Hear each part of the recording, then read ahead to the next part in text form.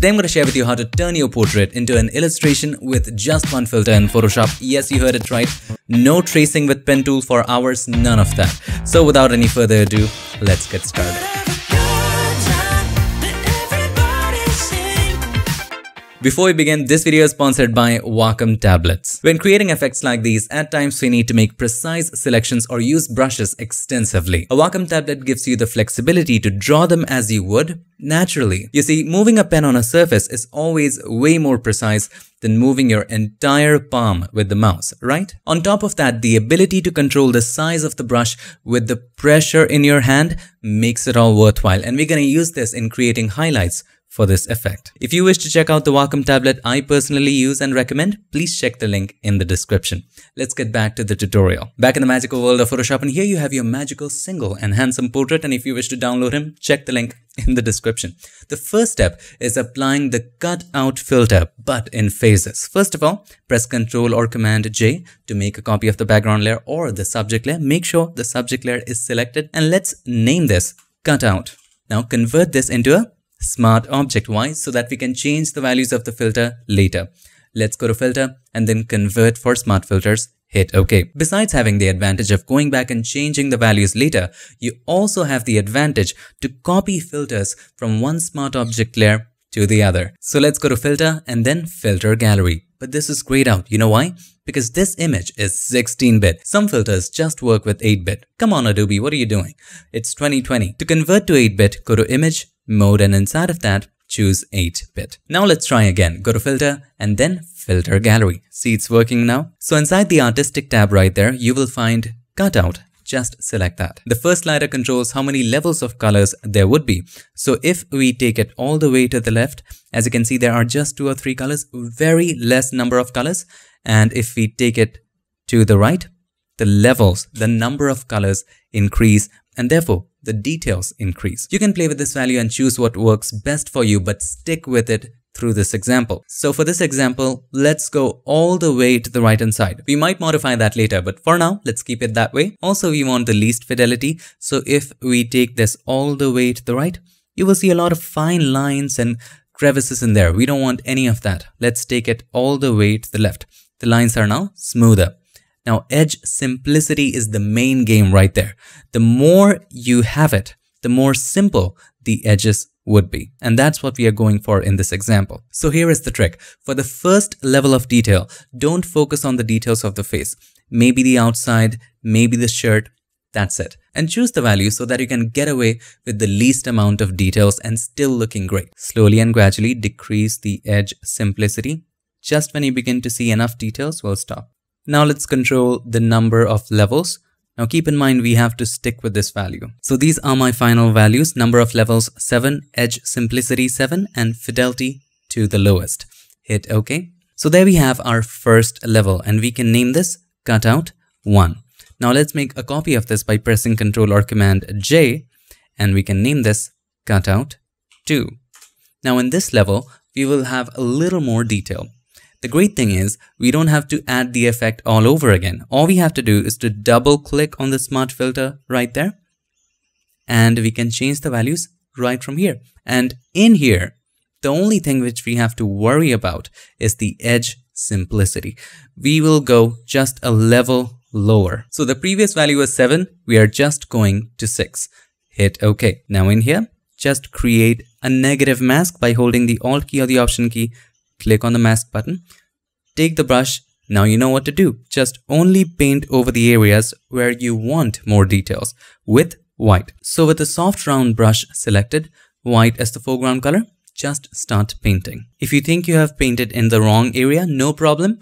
Press X to make the foreground color black. If the foreground and the background are black and white, X just switches the foreground and the background and then paint it back with black. Now let's resume painting with white. By the way, if you momentarily want to check how the detailed cutout looks like, you can always hold the shift key and click on the mask button to momentarily turn it off. Hold the shift key and click on the mask button again to turn it back on. Now let's paint.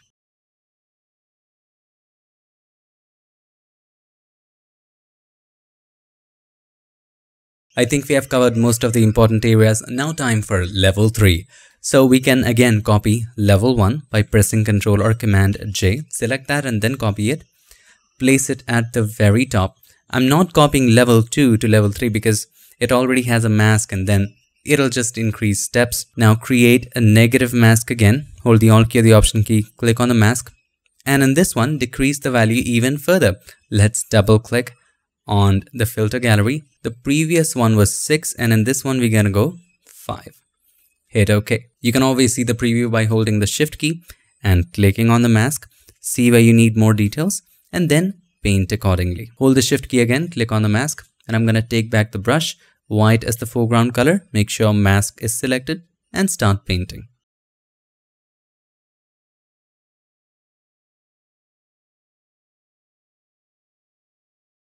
So this, my friend, was level 3. If you want level 4, you can also do that. Just one last. Now, make sure to name it properly. So with the cutout one selected, Control or Command J, and we're gonna take it to the very top. Double click on the filter gallery. Let's choose the value 4.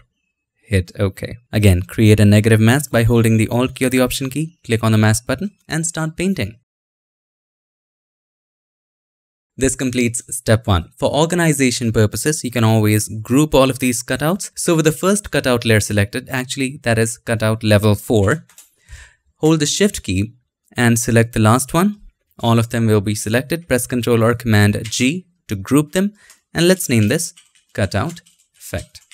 The next step is an exciting step and that is painting in to correct the color. Now, you can totally skip this step, it's not necessary. But if you want to make your illustration stand out with simplicity, this is a must. And it's very simple. All you have to do is to create a brand new layer. You can also do this over multiple layers. Zoom in and just simplify this. So with a hard round brush selected, all right, you can just sample this color, okay, and then simplify it. In this case, I'll just make it straight. Similarly with this one, we can go something like this. So all you have to do is to continue painting to simplify the shading.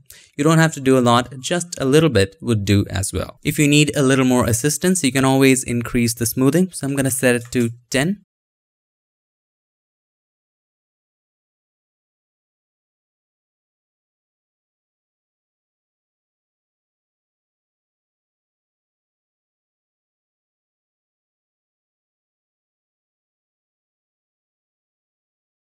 By the way, if you're confused about how to take a sample, just hold the Alt key or the Option key, click to take a sample, and if it's not taking a sample for you, make sure you go to the eyedropper tool and make sure Sample All Layers or Current and Below is selected so that it not only samples from the current layer, but also the layers which are beneath it. Let's get back to the brush and start painting.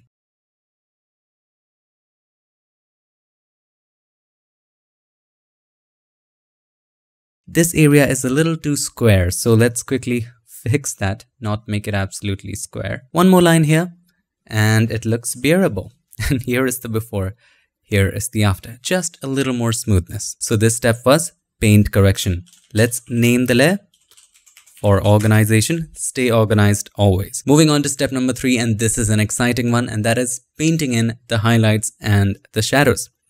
Now, in your example, you might just have to paint the shadows or just the highlights. Similarly, in this example, I'm just painting the highlights, maybe a little bit of shadows, but mostly highlights. Let's create a brand new layer and let's name this highlights. Now let's take a hard round pressure size brush so we want to choose a brush that is hard, but we can change its size with pen pressure. Let's go ahead and choose that. The advantage here is when you start painting in the highlights, so let's go ahead and choose the color white right here. You can also press D to set the background and the foreground to defaults, which is black and white. Let's set it to white and let's start painting. Now I'm going to increase the smoothness. I want some assistance. So let's start right there. See the highlights that we are painting are looking so nice right? So we can continue with that. By the way, this is where caps lock is useful. When you're using a Wacom tablet and you want to see where the brush exactly would be pointed, you can press the caps lock key. The whole circle thing will go away. It'll change into a crosshair. Thus, it will give you an exact position of the brush.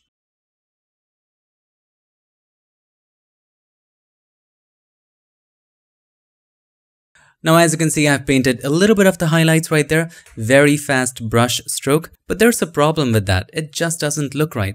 You know why? The color might be the issue. So let's create a solid color adjustment layer by clicking on the adjustment layer icon and then choose solid color and choose any color, maybe a little off-white, hit OK. And we want to limit it just to the highlights. So hold the Alt key or the Option key, click on the line between these two layers, and then you can pick a color for the highlight. So double click on this, and then with the eyedropper, we can pick the brightest color right there so that it matches the best. Hit OK. Now it looks bearable. I would make the line a little thinner at the top. So with the highlights layer selected, you can create a mask and then with the brush, you can just make the line a little thinner right there. Now if you want, you can also do some shadows. So I'm going to create a brand new layer. And in this, I know what color already to take. So I'm just to sample this darkest color and just do some simple shadows with a hard round pressure size brush.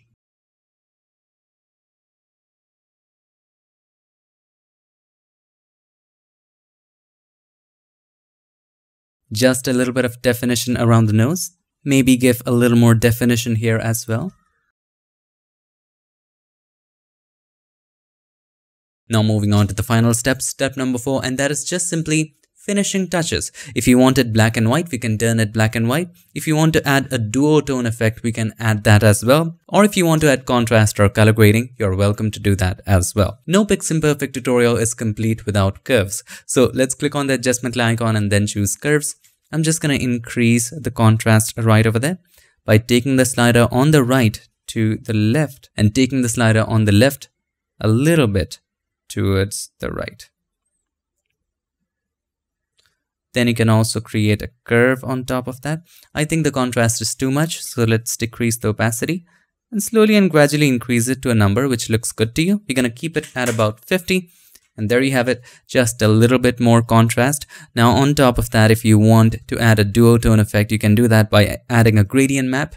Add a gradient from black to white to turn it black and white, or you can also choose some other gradients. So I can choose some interesting gradients like these to create a duotone effect as well. These are also very, very interesting. I actually downloaded these super cool presets somewhere on the internet. I don't remember it. I'm so sorry, but I'll link it up somewhere in the video right here or in the description. So do keep an eye out for that. Once you're satisfied with your gradient, hit OK. So you can have any version that you like. Full color, black and white, or a duotone. You can also get creative and change the background. The stage is yours, my friend. So that's how to create an illustration with just one filter. And the filter here was cutout. And all you have to do is to apply that one filter again and again in different levels. So for some areas like the jacket, you would have less details. And for the other areas like the eyes, you would have more details in that filter. And after that, you can paint to correct the color, paint in the highlights and shadows if you want. And then you can just do some color grading or add a duotone effect like this or do a black and white version. That's up to you. I hope this video helped you and if it did, make sure to give us a like and also don't forget to subscribe and not just subscribe. Ring the bell so that you don't miss any other future tips, tricks or tutorials. I would like to take this moment to thank all these nice and amazing people for supporting this channel on Patreon and helping keep Piximperfect free for everybody forever. Thank you so much for watching. I'll see you in the next one. Till then, stay tuned and make sure that you keep creating.